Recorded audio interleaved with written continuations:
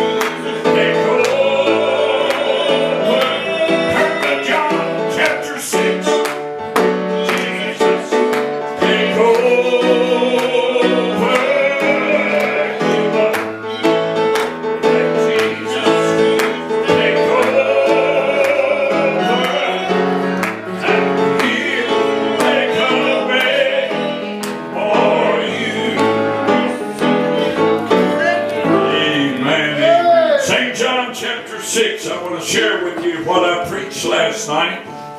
I told the church I was in the car wash at 10 o'clock yesterday morning over at Exxon. And thank God for car washes. I was there and somebody was praying, and I was as I was putting my card in the machine there to get the car washed on Jenna's car. I was in a lazy mood, so I took it to the lazy man. We call that the lazy man wash. But anyway, the power of God came down in the car, and I had a time. And uh, I want you to look over here in uh, verse 9, verse 8. I want you to pay close attention. This goes right along. Man, I didn't know it was going to carry over till this morning.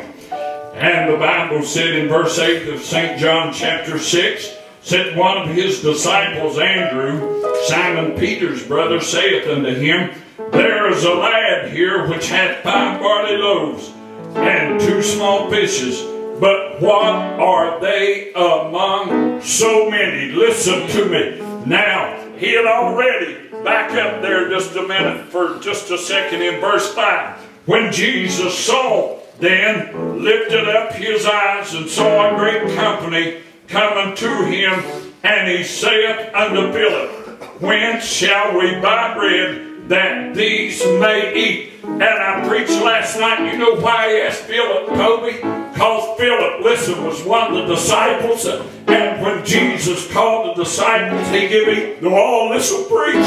He gave each one of them a job to do. You say, preacher, I can't do nothing. Yes, sir, God called you for a purpose.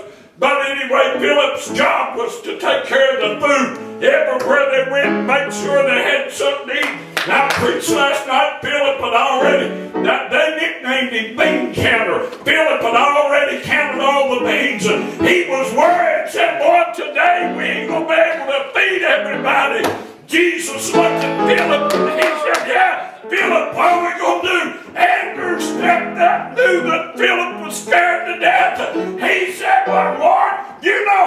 much money we making. Uh, you know how much money we got in the bank.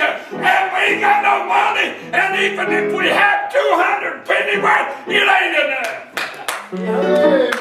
Yeah. You know what Jesus done? Come on, preacher. Looked at that, and the only thing Andrew found in the whole place was a little bag with two fishes and five loaves.